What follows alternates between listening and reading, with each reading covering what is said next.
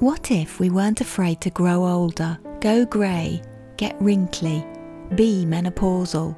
What if we could let go of all the preconceived ideas and cultural norms and just allowed ourselves to be, navigating the inevitable twists and turns and bumps in the road, allowing ourselves the grace, self care, and compassion that we truly deserve? For me, the best thing about getting older is that I care much less about what others think. I've stopped trying to be anything expected of me and just get on with the business of being myself.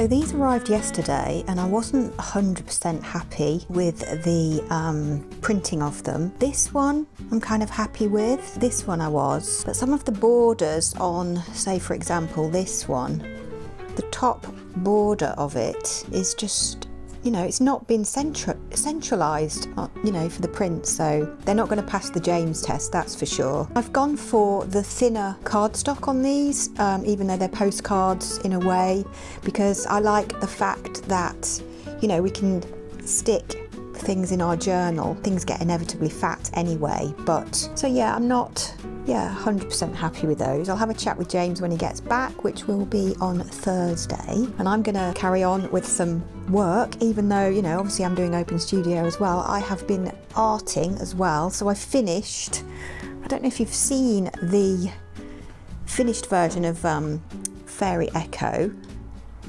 Um, think she turned out quite nice, so I can do some um, postcards and stickers of this one. I've started this drawing when I was away at the seaside, so you might have seen that video a few, few months ago, maybe a month. I don't know, it's uh, time's strange at the moment, seems to be passing so quickly.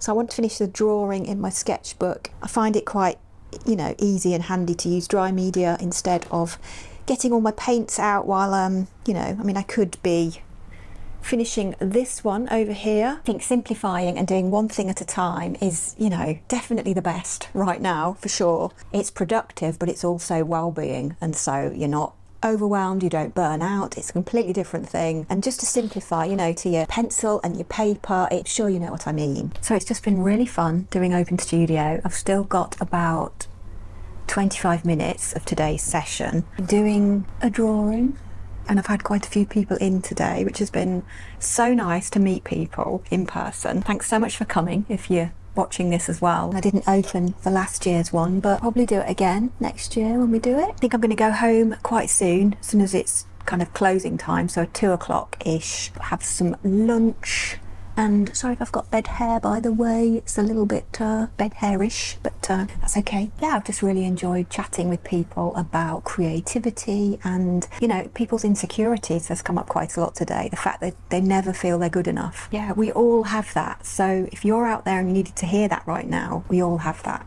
and it's completely normal. You've got to get your head around it and you've got to get a handle on it so it doesn't stop you creating. I think that's really important. But yeah, we all have those insecurities for sure. Important affirmation I am enough. Repeat after me as many times as you need in whichever scenario you need it. There you go. So I'm going to take some pics of you know what I've been doing for my Patreon cafe, which has been amazing this week. So fun. Well, it's fun every week, I have to say. We just chat and stuff every day. I used to do Patreon Lens, but Patreon took that part of the functionality out. So I opened up the Patreon cafe instead, and I love it. It's one of my most favourite happy places. So I'm going to take a few pics of this. They always get early peek at everything. And I might make a little reel and then I'm going to go home and I'm going to do a little bit of work at home, edit a bit of this video for you. Yes. And I hurt my finger again, but not really badly. And I didn't pass out or nearly pass out like in the last video. So it's okay. What am I like, eh? Mm-hmm, mm-hmm. Yes, I'm good. I was just reading your email and I thought I would just give you a call if you've got a minute. Um, before we pay the deposit, I just wanted to clarify about the carpet and the painting thing. You know, if he sort of wants us to sort of take that on, is he going to sort of maybe put a little bit of money towards the painting? Or some of the carpets Sue was saying might be replaced. No worries. That's And as I say, you know, we're really flexible. We just want to know where we stand. Yeah, of course, should be fine. Um, let me let's see if we can get some answers from our landlord first.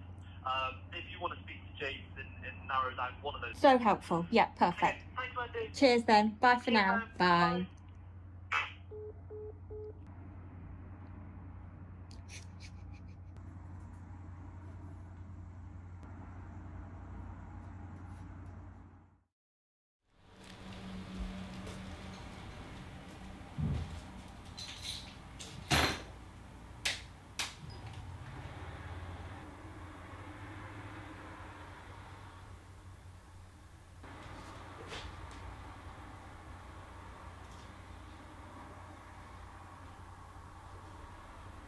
It's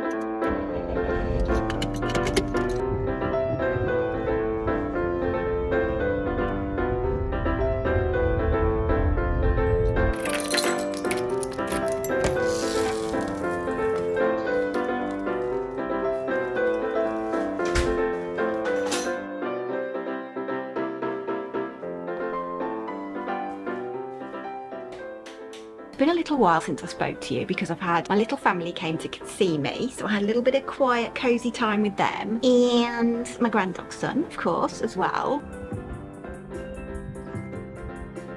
And I've kind of struggled a little bit, well, quite a lot actually, to get back into things this week. I came in yesterday, I showed up, I did that thing that I talk about, and uh, I did kind of did nothing. I didn't achieve anything. So today is a brand new day.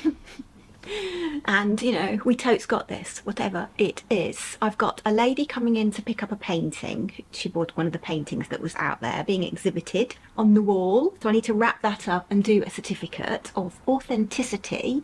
And I've also, it's podcast day, so I've got a couple of ideas for kind of like this ongoing project I'm doing on the on the kind of brown paper. This is the third one and I'm partway through, I would say halfway through now, editing that process. If you're interested in the art process videos, those are on the Patreon. This one will be in the Pockets tier, which is £5 a month. Normally, James will edit all the Patreon process arty videos for me, but he's working away at the minute, so it's kind of like a bit extra. but I am managing okay, but I'm just kind of taking it a little bit slower. I'm aiming for Friday, so I'll hopefully get that one up. And arty wise, yes, I want to do a couple of things this is the one that sold the Fairy of Miracles, and obviously this is a postcard of it. The real one's out there, so I need to wrap that. But I've got, yeah, a couple of ideas. Some of the things on in my process are working really well for me, in my opinion, and I'd like to just take them a little bit further, take them a step further, if you like. So I want to have a little play with that today. That is the plan, anyway. So first things first, let's have a little snack. I've got grapes and I've got a little bit of coffee, and wake up properly because I'm not actually properly awake yet and I've still got bed hair so sorry about that.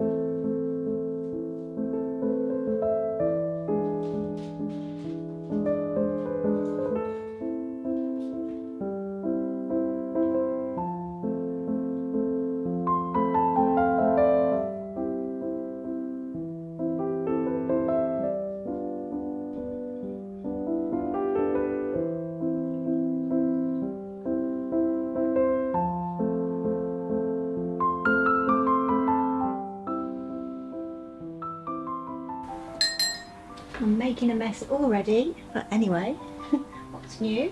So I've come in early this morning, so I thought we could have a morning drink together. Maybe coffee, maybe tea, whatever it is you like in the morning. I've had my lemon water and I brought my coffee with me. It's one of those cosy, snuggly days as we're coming into autumn. So, and I really like it. I really like kind of the grey, days where you can put your fairy lights on and it's you know it just lifts your mood. You need extra light to, to lift your mood. And ever since being little I've always had a kind of string of lights or a special light that I called my happy light. And so yeah for me it's light therapy if you like. But I just there's a little something special and magical about twinkly lights isn't there? So yeah. And I have been known to put my Christmas tree up at the end of October or even before. I think the earliest I've put my tree up is the autumn equinox. So in some years my tree would already be up. But anyway, we will probably wait until we move. So touch wood. Let's do a little house update then, shall we? These are my cosy little gloves that my sister got me a little while ago now. And they're so soft, so soft. So I don't know where she got them from. They're perfect because my wrists and my hands get really, really cold. Anyway, what was I saying? So our little house then is so far so good, everything's going through. And I know there were comments about the carpets downstairs being absolutely disgusting basically. They were so filthy. And if you watch last the last video a couple of weeks ago now you will see the landlord has been really reasonable actually. So it's one of those situations where we can actually chat with him directly on the phone which James has been doing. And so James has been doing all the negotiation ne negotiations if I can speak um, behind the scenes if you like because there's certain things that aren't quite right about moving in. And ideally it should be ready. But in the current climate of the housing market, the way it is right now, things are a little bit more complicated than usual. And so we just have to go with what we have now, make the best of it. So that's what James and I are doing. So we're not footing any costs for anything, but we are going to steam clean the upstairs carpets and the landlord's going to provide new carpets for downstairs. And I did ask James if he could kind of ask him about having kind of laminate down, which is just much nicer with rugs on and I just find it cleaner basically. And he did think about it, but at the end of the day, the costs, you know, outweighed. So we are having a new carpet and we got to pick out of three as well, which was really nice of him. So he is, you know, bending over backwards a little bit for us. Anyway, to cut a long story short, hopefully, and again, you know, touch wood, we are being um, allowed in early after we've signed and paid deposits and all that stuff. We're going to be given the key early before we start paying rent because of the fact that we've offered to decorate it. So I'll do all the little faffy bits and James will do the big roller bits probably and then we can freshen the place up hopefully before the new carpets go down. It will all be like, you know, a blank slate and fresh because I want to scrub that kitchen as well. So the kitchen wasn't very nice. So there will be a moving vlog coming up probably if I get to film it all because it's going to be a bit chaotic. I suppose the thing worrying me the most is not really if everything's kind of going to go with the flow because I kind of trust that it will and if it's meant to be it's meant to be. I think the thing that's worrying me most is probably whether I will have the energy to do everything because often I find I haven't got much energy at all and it depends you know I wake up this is menopause and perimenopause stuff if you haven't experienced it already and if you have you'll have to let me know in the comments if it was similar for you. But i find my energy levels are all over the place. And you know some some days i wake up and i haven't got any. And i need to wake up in the morning to find out what i'm going to get. I can't predict the day before even. And it's really nice today for example because i've woken up with more energy than usual if you like. So i came in early etc so, but that's the little house update. Yes and anytime I mention perimenopause or menopause or growing older and how that feels, you know, to be growing older, growing up, if you like, is what I kind of call it. You know, people always say to me, you know, Wendy, you should talk about that more because we don't talk about it enough. And I think a lot of the aspects of when you hear someone talking about menopause, and I've read a lot of um, books as well, I've probably read maybe them all, but I've read a lot around it as well. Obviously, it's a subject of interest for me right now, and I'm navigating it as best I can, as anyone can. I think what's come out for me is, you know, it's really common to talk about, you know, hot flushes and all those kind of symptoms, sleepless nights, the troubles, the difficulties, the challenges, and how terrible it is. And, you know, if you're not there yet, don't worry about it. I'm doing fine, and if I'm if I can do it, you can do it, basically. So it's okay, don't you worry about it. There are things, you know, that are challenging about it, but you know, we've mostly been through a long time of our menstrual cycles anyway, so we've already been through all that every single month. So this is coming out the other way, in a way, going back to the hormonal levels that we had at puberty. And I'm hoping my energy returns when I come out of what I'm calling the tunnel, because I do feel it's like a rite of passage through this tunnel towards the menopause and I'm not through yet. So sometimes the tunnel is a nice flow, if you like. The water's flowing and it's, you know, I'm bobbing along quite nicely, thank you very much. Sometimes it's a little bit more bumpy and sometimes the tunnel gets quite tight and small in places and I feel a bit squeezed. And so the last couple of weeks, if I'm really honest, I've been going through one of my squeezes. And by that you know I don't mean the physical stuff of hot flushes and stuff which I have experienced and you know they're not always the nicest you know. I don't need to tell you that do I? The thing for me which I find the most challenging is more the emotional journey of it because it's a little bit like unfinished business will randomly and unexpectedly crop up to be resolved, if you like. And sometimes that can mean really painful stuff coming up again. So it might mean, you know, maybe stuff that's happened out of your own control, or it might be something that you know if you'd have known better at the time you'd have done better and so there's an element of guilt and shame about you know the things that happened and how you maybe behave towards someone else and all that kind of stuff. That's cropping up. And as an avid journaler if you've been around here a while you know I, I journal and art journal and use my creativity as a processing tool to help well-being and mental health. So I've been doing all that but it has been quite heavy going and it has used a lot of energy.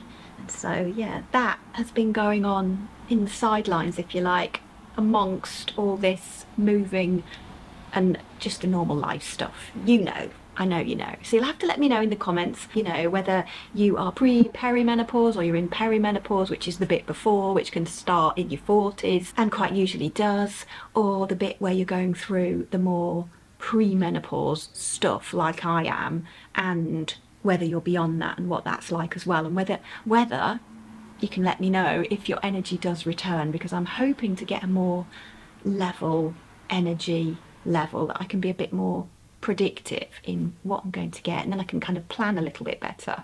Because sometimes I've made a plan and I've not been able to do it because yeah. So let me know. Yes let's share ideas on that because it's really important and I agree. I don't think it's talked about enough. Yes I could, I could do a whole video on it. Yeah maybe I will one day. Anyway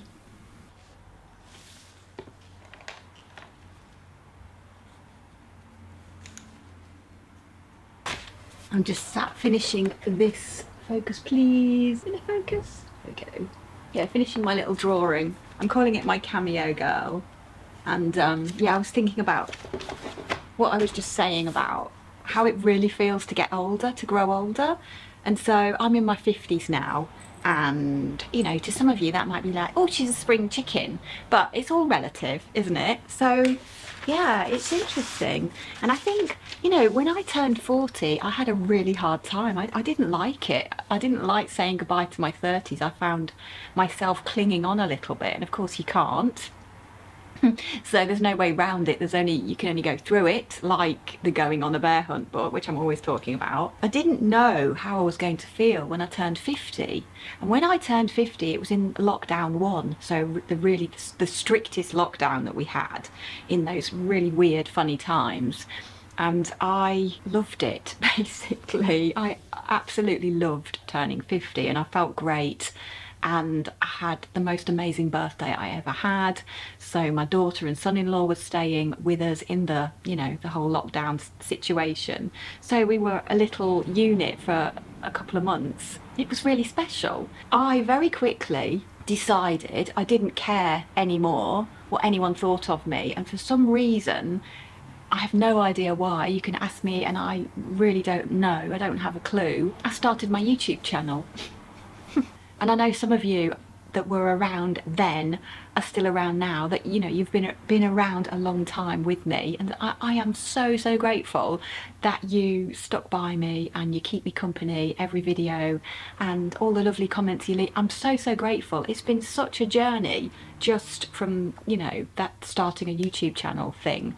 And I had no idea what I was doing why I was doing it or anything like that but it's turned into you know basically for me I've found my tribe and I've absolutely enjoyed you know creating the videos making the videos is a really creative process for me and I really enjoy it. I even enjoy most, I can't say all, but most of the editing process as well, which is a really long process for me. I don't know why I seem to take so long. I seem to take longer than anyone else probably. At the end of the day, if I didn't enjoy that element of it and the storytelling of it and the way you can, you know, express yourself through the me the medium of video it, it's it's another creative branch of my tree if you like. So endlessly grateful for you if you you know clicked on my videos then or obviously you've clicked on my video today. So thank you so much. It's a wonderful place to be and have these conversations. So do let me know your own experiences of you know growing older as well because it's not something that we have to be afraid of. You know it's not something to be scared. You know if our hair turns grey for example I mean you know, check out mine. I started going grey at 19 and I fought and fought and fought it and used to dye my roots every four weeks when they started to po- poke through, you know, because I had really dark hair and, you know, my eyebrows are witness, you know, to that. So, you know, that's how dark I was, almost black. So it was quite prominent when my, my silvers used to come through. But, you know, I love my, my grey hair. It's, it's, it's now part of me and it's really changed what I look like. But I like it. So I am evolving as I evolve, if you like, and, and all the feelings and emotions and, and the mental stuff, the, the journey to navigate and the stormy sea and then the calm sea and then somewhere in between. And then sometimes it's just like a crazy hurricane and sometimes it's just like, you know, like glass, like dead still. It, we just navigate it because we have to. We learn all the steps along the way. As some say, an honour to grow older because not everybody gets that, you know, that luxury, do they? So, yeah, we know this. You know, I, like many of you, have lost loved ones young, way before it is, you know, their natural time. So, yeah, we're lucky. We're lucky. So we should embrace it. I often journal about and I often wonder as well, you know, what advice would I give my younger self now? So that 39 year old turning 40, for example, or the 29 year old turning 30, that didn't bother me too much, but I know it does for some. And I think I would say the most important thing is taking care of yourself. And that can be 102 different elements all coming together depending on who you are because we're all unique and different even though we all have so much in common. And so in a way we're all the same as well. We have to find don't we our own way through and the key to doing that is the connections we have with each other and learning from each other well you know whether we're older or whether we're younger you know i learn a lot of things from younger people in my life as well it's not just older people have the wisdom and the younger people don't. It's different. Each generation has different gifts, and we can learn from that if we're willing to listen and take that on, can't we? There's a saying, isn't there, that life is a journey and it's not about the destination. Sometimes big things happen which can feel like a destination. You know, like so for me, when we bought our house back in 2007 or somewhere around there, James and I bought a house, and that felt like a destination where I had arrived in, you know, my house, whatever that meant at the time. And so I think there are things that feel like a destination, aren't they? Or maybe we get our degree, or we have a child, or we get married. And those can feel like a destination point, can't they? Within the journey. So I think there are some major milestones. And also, you know, like what I've been talking about with menopause, there are these giant rites of passage that we go through as a human being as well. So it's all pretty magical, pretty special, especially when we're sharing the journey and the story of that and our experiences with each other. And of course, we don't always listen and we don't always learn. Often, if not most of the time, if not all the time, learn from our own mistakes, don't we? And some of the things that I have learned in my 50s have taken me a heck of a long time to learn. And I've had to own that, so hmm, interesting. Anyway, I think the moral of this story, of what I'm trying to say, if I cut it short, because I did go off on a few tangents then, so sorry about that, but I do tend to do that a lot. But at the end of the day, growing up, growing older is fun, it's enjoyable, it's still an adventure. I don't feel any different to how I did. I still feel like the same Wendy. In fact, if anything, I feel more like myself than I ever have. So that's something to celebrate. So shall I do another little cameo girl today? I might do another one. I kind of really enjoyed doing that. So yeah, I don't have a plan today. I was really good last night and I went home and did my podcast. So that's all up now. It's just like a snuggly, cozy chat and I really enjoy that and I can go like deep into, you know, stuff that I want to. You can't always put everything on YouTube. Yes.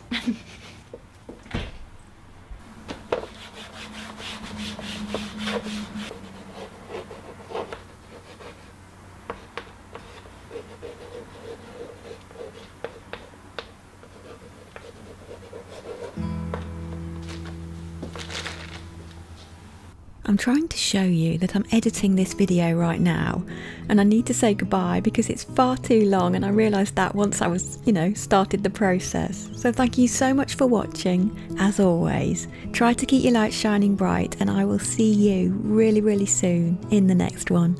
Bye for now.